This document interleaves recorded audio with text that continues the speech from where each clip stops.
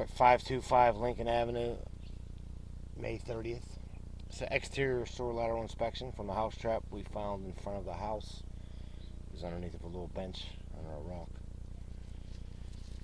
We get the camera out 62 feet to the main tap. Right there, looking down is the main.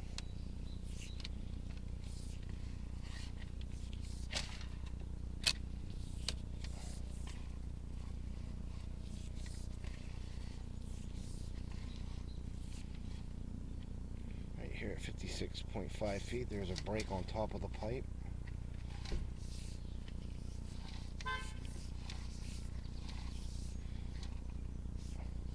There's also another break in the pipe at 60.3 feet.